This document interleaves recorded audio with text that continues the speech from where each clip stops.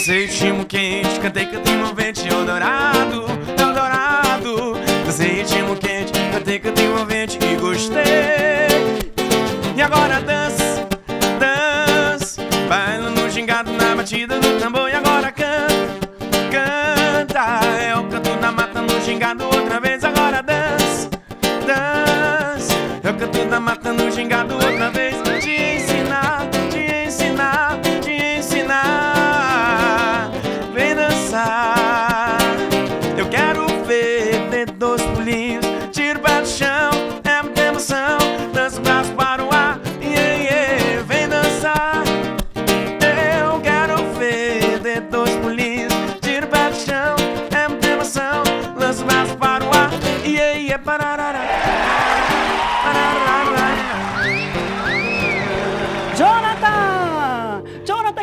CD. E Jonathan disse, pode sortear esse CD aí. A gente sorteia ou a gente fica, produção? Ai, esse Vanildo tem que tirar toda a graça. né? Vamos sortear, hein? Manda uma foto pra cá e se você quiser um CD do Jonathan, tá aqui o CD, esse CD pode ser seu. Tem que fazer aquela selfie conhecida que você sabe e mandar aqui pro nosso WhatsApp, o 993 27 66 49. E se você, assim como o Jonathan, também é um talento da comunidade, mande também o seu talento pro nosso WhatsApp, tá? Fica mais fácil pra gente identificar você lá no nosso WhatsApp, 993 27 66 49. Quando foi que você descobriu que você cantava e não, é, não queria ser fuzileiro mais? Ou tu cantava lá? Na verdade, sim, canto desde criança, né? Então, com certeza, por todos os trabalhos que eu passei, cantava. Tinha que cantar. E como a Quando gente viajava em missão, levava o violão, dava um jeito. foi Sim. todo mundo sem dormir, né? Vamos cantar. Uau. Jonathan, vai dormir? Não, vamos cantar, gente. Vamos cantar. Jonathan, co- é, manda de novo teu telefone aí pra quem quiser te contratar. Você tem rede social, mandar as redes Tenho, sociais? tenho, ver o Instagram. calendário de shows. Tem o Instagram, Pode dar. bacana. Olha, 99163 7242, né? E o Instagram é o Jonathan Dantas, underline oficial. E calendário de shows. Sim, com Diz certeza. aí. Na verdade, assim, são barzinhos, né? E também alguns eventos particulares, carnaval. É um período muito festivo, né? Amanhã eu tô no Temac, ali do Parque 10. Sexta-feira eu tô no Bar do Elton, depois eu vou pro Flor de Lis. No sábado eu vou pro Hotel da Margem de dia, de noite eu toco num evento particular. No domingo eu tô no sítio Recanto da! Paz. E O ano inteiro é final de assim ou é só porque é carnaval? não, o carnaval, na verdade, assim, o mês de junho, os meses de carnaval, né, dezembro, são super aquecidos, né? Mas a gente tenta manter uma agenda para ter uma, um- uma noção de média, de mês de show, né? Mas é bem. Bem É por isso que tu vive só de música, né, Jonathan? Obrigada, viu, Jonathan? nada, eu Obrigada que por ter vindo hoje aqui, tá? Eu que agradeço, muito obrigado. Valeu, gente. Viu aí, né? Que a contra... Jonathan tá aí o telefone. Gente, 12 horas e 23 minutos. Deixa eu dizer pra você que tá aí do outro lado acompanhando o programa. É, Você viu que a gente trouxe pra você aí uma denúncia que vinha lá de Novo Airão, uma denúncia de uma lixeira viciada, de uma empresa que prestava serviço para a prefeitura e que usava funcionários é, da própria prefeitura. Enfim, uma série de denúncias que foram feitas e a gente deu o direito de resposta ao prefeito. O prefeito procurou a nossa equipe, nós primeiro procuramos lá na época da reportagem, não conseguimos falar com ele, então a assessoria dele entrou em contato com a nossa equipe, eh, com a redação, e a gente deu o direito de, respo- de resposta ao prefeito de Novo Airão. Quem acompanhou toda a reportagem foi o, o- a Patrícia de Paula. É, a gente só queria esclarecer uma situação. Nós aqui, todo mundo que trabalha com TV, todo mundo que trabalha com jornalismo, quer é mesmo dar o direito de resposta. A gente precisa dar esse direito de resposta. Então, só para esclarecer, que nós fomos procurados pela assessoria da prefeitura e imediatamente nós concedemos o direito de resposta, porque é interesse da população que saiba o que está acontecendo em Novo Airão. Então, ninguém precisa entrar com ação jurídica nem nada para conseguir direito de resposta, entendeu? O direito de resposta, ele é concedido para todo mundo que recebe, cujas denúncias são feitas aqui pelo nosso programa. E a Patrícia de Paulo entrevistou o prefeito de Novo Airão e a gente vai ver quais foram as, quais foram as explicações que ele deu acerca das denúncias que foram feitas no município de Novo Airão. A gente vai ver agora. Estamos recebendo aqui nos estúdios da TV em Tempo SBT Amazonas o prefeito de Novo Airão, Frederico Júnior. É, nós estivemos com a nossa equipe nesse município, que é um município turístico e conhecido também é, pelos botos e por todo um festival que existe naquele local, mas que também foi alvo de muitas denúncias né, que chegaram aqui à nossa redação e nós fomos até o local para fazer toda uma verificação. O prefeito assistiu toda a matéria, que foram pontuadas diversas situações é, contraditórias existentes naquele local, pelo menos foi o que foi percebido por meio também de documentação pelo portal da transparência. É, no momento lá, procuramos o senhor, o senhor não estava naquele, na, na prefeitura, na sede da prefeitura, mas ele pediu é, que tivesse um direito de resposta, o que é justo né, para qualquer pessoa inclusive para uma autoridade parlamentar que pode sim se justificar do que aconteceu. Então, prefeito, seja bem-vindo aqui à TV em Tempo. Eu quero agradecer a TV em Tempo por me dar esse direito de resposta, né? Uhum. E estou aqui para explicar e, e, falar a verdade, né? Porque foram muitas inverdades nas denúncias. E principalmente da onde veio a denúncia. Um réu confesso, um problema de cassação na Câmara por desvio de verba e eu quero falar a verdade, porque eu não vou aceitar e jamais aceitaria corrupção no meu governo. Eu começo então, é, prefeito, com a empresa Bassalto. Nós tivemos acesso a, a, uns documentos, a informações também que essa empresa ela presta serviços de coleta de lixo no município, no seu município, e que também tem um, um valor que é uma verba paga para essa empresa no valor de em torno de 2 milhões de reais. Eu particularmente fui uma das pessoas que estava nessa equipe para essa matéria. Eu, nosso repórter cinematográfico Walter Araújo. Nós estivemos lá no local. Eu fui até essa rua, que é a Rua Raimundo Marques que fica no bairro Nova Esperança do Novo Airão, no número 85. Chegando lá, eu vi uma casa fechada e que não tinha essa cara realmente de sede e muito menos de empresa. Conversei com algumas pessoas ao redor que me falaram que ali não funcionava empresa e que poucas vezes se viam algumas pessoas com uma roupa verde ou uma roupa laranja, é, que esse tipo de roupa era uma, um fardamento para, para aqueles colaboradores que faziam a coleta de lixo. Mas que essas pessoas, elas eram oriundas da prefeitura e que todo o material roçadeiro e tudo mais para fazer a coleta também eram materiais da prefeitura. E eu gostaria que o senhor falasse sobre esse assunto. Realmente, a empresa Bassal prestou serviço para o município de Novo Airão. Como você sabe, a nossa eleição foi uma eleição suplementar. E quando eu assumi a prefeitura, eu recebi algumas heranças malditas. Tipo como assim que assumi a prefeitura, chegou os cortes de energia, um ano e meio que não pagaram uma conta de energia e gerou uma dívida de 2 milhões e 700. No mês de maio e mês de junho, eu tive um bloqueio de mais de um milhão de previdência, dívida de gestões passadas. E entrei com muita vontade de trabalhar e dar um norte de desenvolvimento para o meu município. E aonde eu começaria isso? Melhorando o nosso município na questão de limpeza, porque quando eu encontrei o município, era lixo para tudo que era lado, entulho para tudo que era lado. Então o senhor está dizendo que a Bassalto não era uma empresa da sua gestão? Já da minha gestão. Então, o que quero dizer? Fui obrigado a contratar uma empresa para me ajudar na coleta de lixo, porque encontrei uma herança maldita onde não tinha um maquinário na garagem, tudo sucateado, abandonado há 15 anos a sol e chuva. Hoje estão funcionando porque eu recuperei durante um ano de mandato. Então contratei a Bassal. Mas devido à minha saúde financeira, a saúde do município financeira, com esses empecilhos que me pegaram de surpresa, como essa conta de 2 milhões e 700 de energia, 1 milhão de mais, 1 milhão e pouco, 1 milhão e 100 de previdência, me causou um transtorno na saúde financeira. E eu rompi o contrato que só durou quatro meses da Bassal. Mas quatro e... meses, no valor de 2 milhões? Não, mas eu não gastei 2 milhões. A previsão hum. de uma, uma ata, de registro de uma ata, é uma previsão de gasto, não é que eu gastei 2 milhões. Então a previsão era de um meses. ano? A previsão seria de um ano, é isso? Um contrato de um ano. E eu, se você pegar uma coleta de lixo por pessoa é 10 reais. Então a minha licitação, ela tá, a minha ata, ou aderir ata, ou fazer uma licitação, ela tá dentro dos padrões. Não tem exorbitância de valores ali. Eu não posso ter 2 milhões e gastar 2 milhões em 4 meses, 5 meses. Isso não foi feito. E eu suspendi o contrato com a Bassal. Não porque ela não estava prestando um bom serviço, porque eu não tinha mais condições de pagá-la. E está suspenso o contrato desde abril, se salvo me engane. Suspenso. Outra, ela gerou para mais de 30 e poucos empregos. Essas pessoas verdinho que ele falaram, real, verdade. Contratado com carteira assinada pela Bassal. Não era funcionário de prefeitura. Isso eu tenho como provar.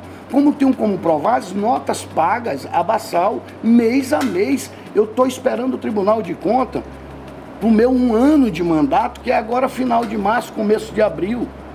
Que está lá tudo arrumadinho, meus processos, tudo bonitinho. É, volto a te falar, Patrícia, infelizmente a TV em Tempo foi induzida ao erro pelo uma, um denunciante. Não, não fomos induzidos ao erro, perfeito. Tá, desculpa é, nós trabalhamos, não, não, sem problema tá. nenhum. Nós trabalhamos assim, nós temos um compromisso com a sociedade. Com a sociedade. Nós temos um compromisso em passar essa verdade, tudo que acontece em todo o nosso estado. Não estou dizendo que isso seja verdade. Nós recebemos uma denúncia, nós temos que averiguar essa denúncia, nós temos que compartilhar essa denúncia com o nosso telespectador e, claro, abrir um espaço como está sendo feito com o senhor, para que o senhor possa justificar. Agradeço. Agora, voltando à história da Basalto, eu quero perguntar, o senhor falou que então foi um valor pago de quatro meses, que seriam 2 milhões, mas que o senhor só trabalhou com eles quatro meses e que essas pessoas com a camisa verdinha, que nos foi falado lá em Novairão, eram pessoas contratadas de carteira assinada.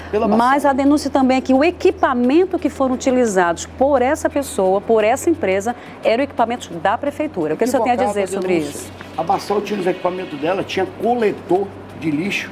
Com mais o meu coletor, me dava uma demanda de, de avanço de serviço muito satisfatório no município. Hoje eu estou só com um coletor que é o nosso mesmo, mas tinha até coletor a Bassal. Então, essas denúncias não são verdadeiras. Não gastei 2 milhões com a Bassal. Está lá para quem quiser ir ver, está lá para o Ministério Público, para os órgãos fiscalizadores, quanto que eu gastei com a Bassal em quatro meses. Então a previsão de, de registro de ata era 2 milhões, mas não gastei os 2 milhões. É isso que eu queria colocar, sabe, Entendi. Patrícia? Entendi. Que é algo de denúncia que não são verídicas.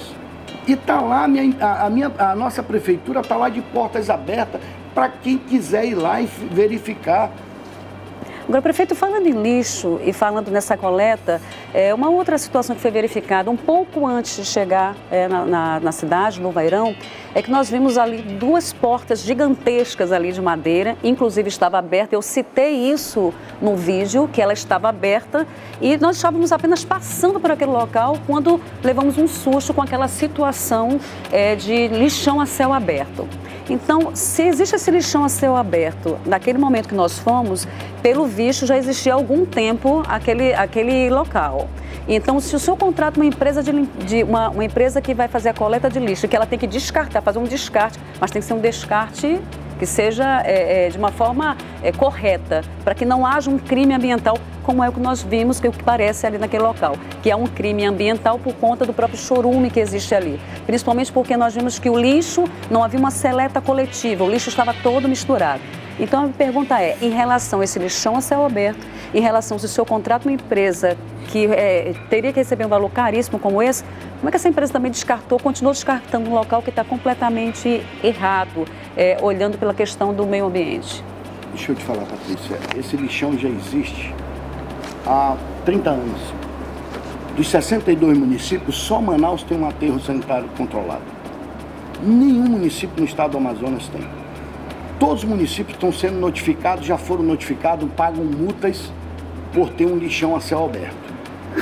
E as cobranças são grandes em cima das prefeituras. Mas nós não achamos, nós prefeitos, não encontramos nenhuma porta aberta para viabilizar recurso para que a gente resolva o problema dos lixões a céu aberto. Que é, tá, o mundo todo está de olho no meio ambiente, não é verdade? Mas até hoje nós encontramos dificuldade para encontrar recurso para fazer um aterro sanitário controlado. Outra, falaram na reportagem que nós não temos é, coleta seletiva. Temos sim, temos cooperativa, faz a coleta seletiva, é feito um trabalho, gera não sei quantos empregos lá nessa cooperativa. E é levado para onde essa coleta seletiva? Essa coleta seletiva, ela é feita toda uma seleção do lixo, o PET, o plástico, tudo é armazenado num depósito aonde a prefeitura, com um termo de cooperação técnica exigido pelo Ministério Público, tem uma parceria com a cooperativa onde a, a prefeitura dá o combustível para o caminhão que vem de Manaus buscar todo esse, esse, esse processo do lixo seletivo. Então existe sim a, a cooperativa de coleta seletiva. Voltando ao assunto do lixão, Patrícia. Só me permite um, pouco, um minutinho, prefeito. Quando nós nos referimos à, à coleta seletiva, nós estávamos referindo à coleta seletiva nesse lixão, que em alguns momentos vimos colchões, televisões, portas de geladeira e tinha algumas, alguns sacos fechados. Então nós estávamos nos referindo, não que não houvesse na sua cidade, mas que nesse lixão não havia uma organização e por isso havia muitos urubus, muita lama e acreditamos que isso, além de que configurar um pouco aí um crime ambiental, pode trazer algum dano à saúde das pessoas, porque por ser muito próximo da cidade. O senhor concorda com isso? Volto, volto a questionar com você, Patrícia, sobre o lixão. O nosso lixão, não só, volto a te dizer, não só o nosso município, como todos os municípios do estado do Amazonas, você vai encontrar isso. Eu estou há um ano e dois meses na, na, na frente da prefeitura. É algo que me incomoda muito. E a minha cidade é uma cidade turística. Você acha que é, é satisfatório a gente ter aquele lixão a céu aberto? Não.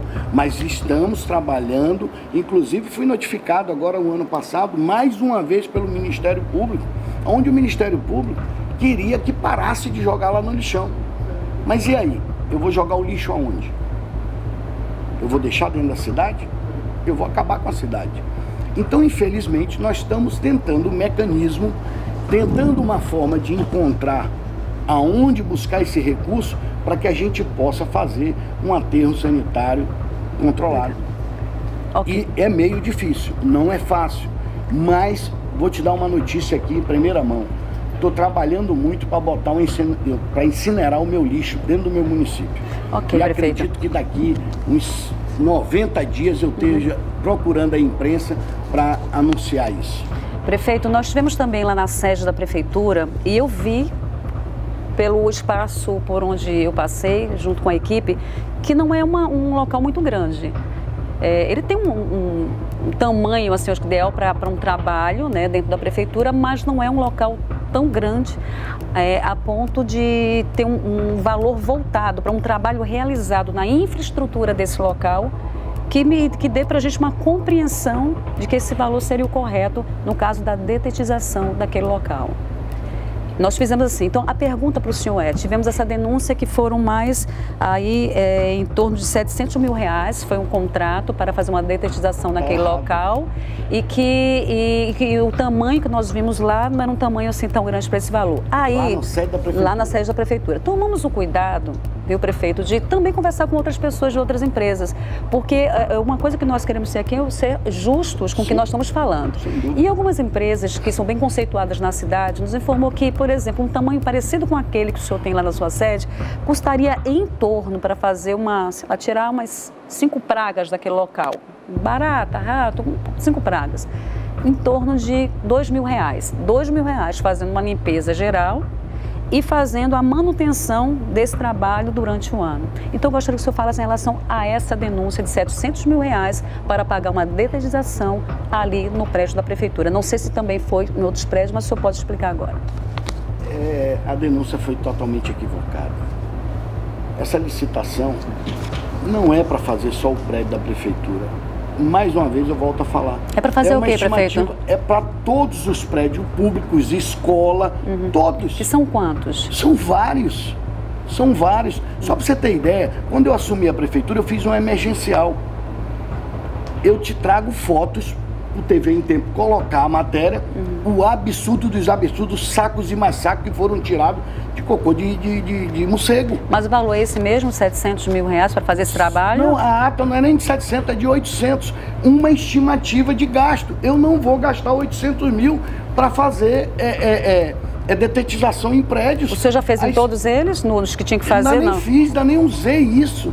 Não se gastou nenhum real ainda dessa ata. Nenhum real. Então por isso que eu quero, volto a falar, que foram denúncias invasíveis, sem ter verdade nisso. Não foi nem usado essa, essa, essa, esse registro de preço ainda. Não foi nem feito ainda serviço. Isso é uma estimativa, uma previsão. Quando é que nós vamos poder fazer algum serviço, necessitar do serviço, para que possa se usar e esteja documentado para usar uma empresa para prestar o serviço. Porque no município não tem quem faça esse tipo de serviço. Então veja só, é uma estimativa, Patrícia. Não significa que eu vou gastar 800 mil amanhã para fazer a detização de todos os prédios e escola do meu município. Eu não sou louco. Eu não sou louco. Aí eu quero dizer que eu estou querendo fazer corrupção. É diferente. Um registro de preço não significa que você vai gastar esse valor. Isso é uma margem de previsão do que você vai gastar em um ano, dois anos ou quatro anos de mandato. Bem que o meu não é quatro anos, o meu é só dois anos. Entendeu, Patrícia? Outra questão, Patrícia, eu acho que você vai me fazer mais perguntas, né? Vou sim, gostaria de continuar com essas perguntas aqui. É, é... Não existe nenhuma nota faturada hum. do caso da detetização. Está lá para comprovar, é só ir no meu setor financeiro pedir que eu estou de portas abertas para entregar para quem quiser. Até alguém da sociedade que queira ver. Prefeito, vamos falar sobre a arquibancada da quadra para as festas, que são festas tradicionais da sua cidade, sim. né? Por exemplo, a festa do é, Anabilhana, é isso? É a festa do peixe boi. Boi é. Isso, nós vimos lá, nós fomos nessa festa. quadra. Exatamente. Então nós tivemos uma denúncia em relação à arquibancada que existia naquele local, que era uma arquibancada, é, salvo engano, é, entre madeira e alvenaria, e que já estava há algum tempo naquele local, mas que ela foi destruída, ela foi retirada daquela quadra onde é feita essa festa para que fossem colocados é, essa arquibancada móvel, entre outros objetos que eu precisaria, como a questão do som, por exemplo, a sonorização, essa arquibancada e tal. Essa foi uma denúncia. Inclusive, algumas as pessoas da população acharam um absurdo é, fazer destruir aquela arquibancada para colocar uma móvel, sendo que até tivemos uma informação que essa móvel chegou a ceder por conta do peso que estava no dia dessa festa. E que tem um valor aí também bem alto de 700 mil reais para essa empresa que faz esse tipo de trabalho. Eu queria que o senhor falasse sobre isso. Mais uma vez, é o mesmo ponto da detetização. Um registro de preço que eu peço para a TV em tempo e até o meu município entrar junto comigo dentro do meu setor financeiro, dentro do meu processo de, de licitação, do meu setor licitatório, e ver quanto eu gastei com o evento do dia que eu assumi essa prefeitura, que foi dia, dia 4 de dezembro de 2018. Em seguida eu tive 19 aniversário da cidade, em seguida o Natal Solidário, em seguida é, o Réveillon. Correto? E agora esse ano, os eventos que eu fiz desse ano. Vão lá ver quanto eu gastei. Se eu gastei pelo menos 300 mil, se tem nota tirada pelo menos Mas 300 mil. Mas o senhor mandou mil, destruir ou não a arquibancada? Mandei destruir a arquibancada? Não mandei destruir. O Corpo de Bombeiro condenou a arquibancada. Outra, eu vou destruir? Não vou destruir. Eu vou inutilizar aquilo tudo. Ali não tem mais condições de fazer evento. Outra, a próprias arquibancadas que foram notificadas pelo Corpo de Bombeiro, que também houve essa essa falha acontece em todo canto, Patrícia. Veja só, eu tive que aumentar, Patrícia, as arquibancadas. Eu tive que aumentar para o número de público, porque o Festival do Peixe Boi, Patrícia, os nossos eventos eram falidos porque não tinha investimento. E eu dei uma cara nova aos, ao, aos eventos do município. Então aumentou o número de público, aumentou o número de turistas na cidade, uhum. que onde você andava vão dizer que adora as festas de Nova Mas, prefeito, quando fala assim na retirada dessa arquibancada e quando o senhor me sugere aqui que o Corpo de Bombeiros, ele condenou, é isso que você está querendo dizer, isso. que ele condenou aquela arquibancada, eh, nós também estivemos no Corpo de Bombeiros. Sim. E a informação que nós tivemos lá com uma pessoa que estava naquele local é que o, o Corpo de Bombeiros, junto à Prefeitura, junto aos engenheiros da Prefeitura, condenaram aquela arquibancada e por isso ela foi retirada. E ao ser retirada, foi contratada uma empresa para colocar essa arquibancada móvel. Não, é isso? Não foi contratada empresa nenhuma para colocar arquibancada. Foi feita uma licitação, assim que nós entramos, aderimos uma ata para uma empresa prestar serviço de evento no município. Não é, é, é, é, é especificamente para arquibancada, especificamente para o som, não. É uma empresa com estrutura que tivesse condições de atender a nossa demanda. A arquibancada é algo de uma reclamação, inclusive uma amiga minha, no dia que estava quebrando a arquibancada, tu está destruindo o que teu tio construiu que foi meu tio que fez aquela quadra, e ali eu vou demolir tudo. Ali não vai mais ser, não vai mais ter aquela quadra, ali não vai mais ter evento. Eu já estou trabalhando para o Festival do Peixe Boi, agora de 2020, ser na pista oficial onde eu vou construir o, o, o centro cultural nosso. Porque no Vairão eu tenho que pensar no desenvolvimento, no progresso, no futuro, porque o nosso, nosso município ele tem uma vocação turística muito grande. Você conhece, você então, sabe. prefeito, para fechar essa parte da arquibancada, essa arquibancada, é, então não tem a prefeitura não condenou essa arquibancada, foi o, o, o corpo de bombeiros não. que condenou, destruiu não, não, e a empresa que o senhor contratou Nós... faz uma festa geral. Geral, não é exclusivamente okay. para botar arquibancada okay. e outra. Mais uma vez, Patrícia, eu deixo à vontade até o próprio denunciante que vá lá na prefeitura junto comigo, que eu apresento as notas do que eu já gastei com o evento. E pronto. Ao Ministério Público, a qualquer órgão fiscalizador. Estou okay. esperando com muita, muita tranquilidade, com muita transparência.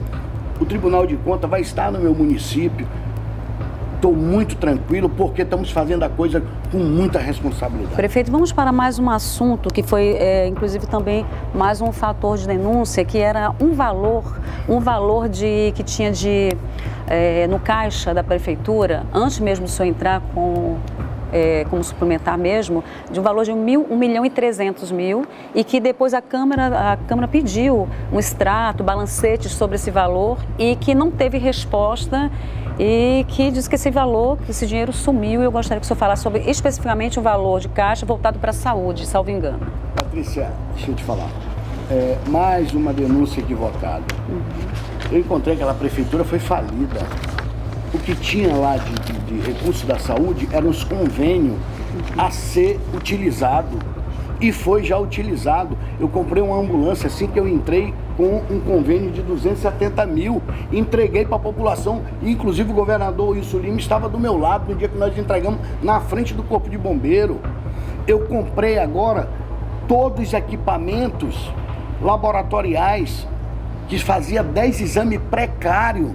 Hoje eu faço 150 exames dias aparelhos de ponta. Eu construí uma UBS inacabada. Como é que eu estou desviando recurso, Patrícia, fazendo tudo isso? Prefeito, deixa eu aproveitar que o senhor está falando, que nosso tempo já está quase terminando. Deixa eu aproveitar que o senhor está falando de ambulância em carro, porque também é, tem a questão sobre um aluguel de veículos que são alugados para o município, né? É, que, que tem orçado aí em milhões em relação a esses veículos, milhão, inclusive... Milhão e novecentos, é isso? Milhão e novecentos. Ah. Inclusive, junto a isso daí, eu gostaria se só pudesse me responder a questão do aluguel dos veículos para o seu município, junto à questão da, do combustível para abastecer esses veículos, que, se me engano, ele não é lá da, da, do seu município, mas ele vem de Manacapuru, é isso? Legal. Se pudesse responder, por favor. Vou te responder com muita segurança. E essa foi uma pergunta muito boa e foi uma denúncia que valeu a pena para mim. Quando eu assumi a prefeitura, acabei de falar para você no começo que peguei tudo sucateado e destruído. Equipamentos, não tinha um carro em secretaria. Como é que eu ia trabalhar, Patrícia? Um município que eu peguei, esconderam o computador, esconderam o documento, tiraram tudo na madrugada, que é assim que sempre aconteceu com o município de Novo Airão. Então vou te falar, eu tenho uma, um, uma, um, pre, um foi feito um pregão de 1 milhão e 900 mais uma vez eu friso, agora com uma diferença. Gestões anteriores tinha contrato de aluguel de carro que os carros não existiam em Novairão.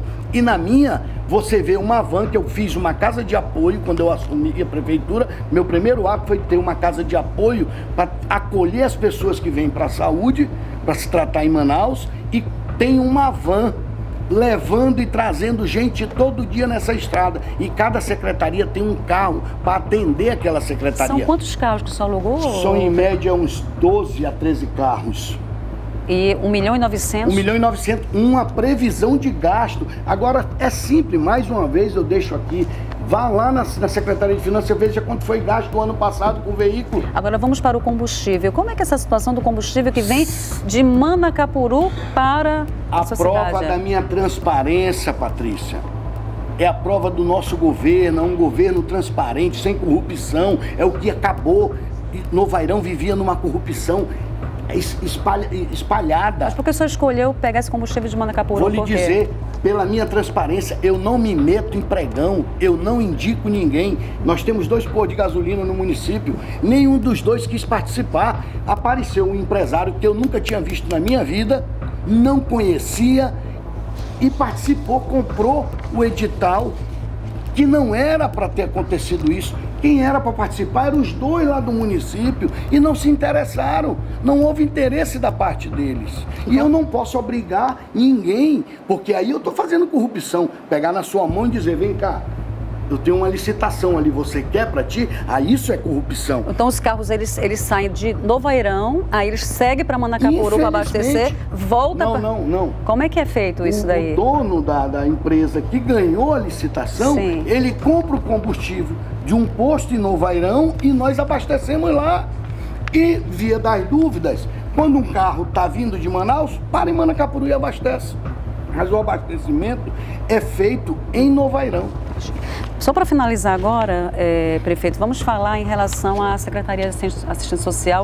A sua esposa, ela, ela está lotada nessa secretaria. Então, nós entendemos que é, toda primeira-dama, ela assume normalmente esse trabalho de assistência social. A sua esposa ela é formada em assistência social Não. ou não? Não é formada. Não. É, então, nós temos também assim, uma denúncia em relação a isso, que, que diz o seguinte, que ela tem um, um salário que é no valor de 4 mil com 4 mil com alguns descontos, né? Segundo informações que nós temos aqui, documentada, tá? Então, até aproveito para informar para todos que estão assistindo que tudo que está sendo falado aqui é, é mediante a documentação que nós apresentamos também na matéria, comprovando o que nós estamos perguntando ao senhor também, tá, prefeito? Então, aqui nós temos aqui um olerístico, é chamado de que tem um valor de 4 mil reais, né? E tem um valor como se fosse uma, uma bonificação de uma produtividade que é no valor de dois mil reais. Eu queria saber como é que o senhor explica isso daqui, que estava dentro também, que a gente está tá falando sobre essa denúncia, porque o que nós entendemos quando nós pegamos algumas informações é que quando uma primeira dama ela, ela assume junto com o prefeito, com o marido do município, se ela é formada e ela ela vai para a Secretaria de Assistência Social, ela pode sim ser remunerada. Mas tem um mais aí que, no caso da produtividade, esse é um valor que não poderia existir. Mas o pagamento sim. Mas quando ela não tem essa formação, ela é apenas a primeira dama, pode assumir sim, mas nesse momento ela deveria abdicar desse valor. Isso é uma questão que eu falo para o senhor, que não sou eu, Patrícia, que está falando, nem a TV em tempo. É uma questão que nós vimos no documento do Ministério Público que nos informa isso. Gostaria que o senhor falasse primeiro sobre o valor que ela recebe de 4 mil e mais esses 2 mil que aparece aqui. Não recebe mais. Nem ela e nem o secretário. Por Porque quê? quando eu assumi a prefeitura, eu sempre quis valorizar as pessoas para que não fizesse coisa errada, ganhasse bem, que desse para viver bem no seu município, naquele município. E encontrei pessoas muito comprometidas, secretários comprometidos mesmo com o município e quis valorizá-los. E a minha vontade era pagar 5 mil a um secretário. Cheguei a pagar, só que a Câmara veio para cima de mim e mandou parar com essa produtividade, que era a única forma que eu encontrei de valorizar o salário dos secretários. Não só da minha mulher, não só dela. E outra, até merecia ela ganhar esses 5, 6 mil reais, porque se você conhecer a história do município, nunca houve uma secretária para fazer um trabalho tão atuante, tão belíssimo e tão bonito, elogiado por todos os setores do governo do estado do Amazonas, como o da primeira dama. Prefeito, Mas ela... infelizmente não ganha mais isso. Foi tirado isso lá atrás que a própria Câmara dos Vereadores não concordou e, e nós, eu sou da seguinte forma, Patrícia, eu tento fazer as coisas dentro da transparência. Se aquele órgão não tá, não acha de acordo, eu recuo. E foi o que eu fiz. A Câmara não aceitou, eu recuei. O senhor pode também me falar sobre. eh, tivemos informações que ela foi lotada no dia 4 de 12 de 2018. Sim. Eh, o contra-cheque dela apa- aparece a partir do mês 9 de 2019. 9 de 2019. É, então assim, nós não temos um- no portal, por exemplo, os contra-cheques dela vigentes, né? Nós temos a- o- é, o ano que ela foi lotada e a data, e depois a partir do Vol- mês de setembro de 2019. Aí Vol- ficou um espaço. Volto, volto a te falar. Da, vou brigar com a Câmara para levar esse salário de secretários competentes, igual como ela, igual como muitos que eu tenho, comprometido com o município de Novo Airão, para 5 a 6 mil reais, porque merecem, porque são honestos. Hoje você não vê corrupção no nosso governo. Antigamente, o secretário lá era fazendo mansão e comprando carrão. No meu governo não se vê isso. Há um ano e dois meses que nós estamos na frente da prefeitura. Entendi. Prefeito, só para a gente finalizar, nós estamos aqui com um documento mesmo de portal de transparência que faz um, algumas observações, inclusive é, a nomeação de cônjuge, companheiro, parente em linha reta, que são os parentes mais próximos, né? E aí vem falando vários, vários tipos de pessoas que podem ser, é, estar junto a esse parlamentar, a essa autoridade que vai ser nomeada. Fala o seguinte, que pública direta e indireta com qualquer dos poderes da União, dos Estados, do Distrito Federal, dos municípios, compreendido o ajuste mediante designação recíprocas, viola a Constituição Federal. Então, é, aí abre o precedente, aquilo que eu lhe falei, quando eu falo assim, ó, isso fez com, ele vem falando uma situação do STF, fala assim, fixasse alguns parâmetros para coibir práticas violadas da moralidade e pessoalidade administrativa. A nomeação não pode ser fundada tão somente no grau de parentesco é preciso levar em conta a capacidade e a qualificação técnica de quem está sendo nomeado. Então, está dizendo aqui para a gente assim, ó, que se ela é sua esposa e pode ser uma pessoa maravilhosa, como o senhor está falando, e pode fazer um trabalho excelente, como o senhor está falando, que, eu não, que a população está falando, né, eu não tive acesso à sua esposa nem essa informação lá, mas que ela só poderia ganhar, ela só poderia receber se ela tivesse uma formação na área e tivesse assumido essa secretaria. É só para deixar também claro aqui, em relação ao que o senhor está falando, certo. e o senhor pode fechar esse assunto porque já estamos chegando no final da nossa entrevista. Eu, eu costumo dizer que eu não tenho nepotismo no meu governo, porque no caso, parente sendo secretário não é nepotismo, tá? E, e sempre levei isso muito à risca. Eu não tenho um filho empregado na prefeitura, eu não tenho um primo, não tenho ninguém empregado na, na prefeitura. E eu quero te dizer o seguinte, Patrícia: a minha administração é diferente das outras que passaram. É, infelizmente, nós não temos aqui um relato de uma, de uma ida de, um, de uma emissora nas gestões que destruíram o nosso município com tanto ênfase a como foi feito na minha, porque senão ia estar tá fazendo um comparativo aqui muito top, muito legal para mim. Mas infelizmente não tem para a gente fazer esse comparativo. E palavras voam, né? Então, Patrícia, eu te digo assim, eu quero muito agradecer a TV em Tempo, tá? Eu entendo o trabalho de vocês. Em nenhum momento eu fiquei chateado, isso ou aquilo. Isso é, faz parte da democracia, tá? E, e fiquei satisfeito. Fiquei satisfeito por vocês terem me dado o direito de resposta, por eu estar aqui hoje sendo bem transparente, bem real, que a população de Novo Airão que me elegeu conhece o meu trabalho, conhece a minha vontade. E outra, Patrícia, tudo que foi mostrado para você lá, infelizmente não lhe levaram para mostrar as coisas boas que estão sendo feitas. As obras inacabadas que eu estou acabando com recurso próprio. E outra, Patrícia, só para me finalizar, eu ganhei de 2019 para 2020 quase 30 milhões. Governo do Estado, senadores, todos três da República, que é do nosso Estado, senador Omar, senador Eduardo Braga, senador Plínio Valério, quase todos os deputados federais destinaram emenda parlamentar para o nosso município, somando tudo com os deputados estaduais também, sem pensar em bandeira partidária, destinaram quase 30 milhões. Sabe por que isso, Patrícia? Pela credibilidade que eu e meu vice temos com eles, porque a prova da minha credibilidade foi o que eu recuperei que estava abandonado, que não era obrigação minha. Não era obrigação minha mas a minha atitude fez com que eu ganhasse essa credibilidade perante os políticos. E quem ganhou com isso, Patrícia? O município de Novo Airão, que vai receber esse ano quase 30 milhões de reais de investimento. Prefeito, eu só queria só fazer uma ressalva quando o senhor falou em relação que uma emissora nunca foi lá, ou a própria TV em Tempo não foi lá antes, está indo lá agora, nós fomos lá agora porque recebemos essa denúncia agora. É. Então vamos aos municípios quando nós recebemos uma denúncia para que possamos mostrar e aí sim dar o direito de resposta como está sendo feito é, com o senhor aqui, que é uma questão justa mesmo, e nós trabalhamos assim, com essa questão justa. Eu quero, eu quero agradecer também a sua participação aqui no estúdio da TV em Tempo e essa foi a entrevista com o prefeito de Novo Airão, Frederico Júnior, que veio falar sobre uma matéria que nós exibimos aqui na nossa programação, onde mostrava diversas denúncias, onde ele também teve o espaço para falar, para justificar as denúncias que foram feitas. Até a próxima.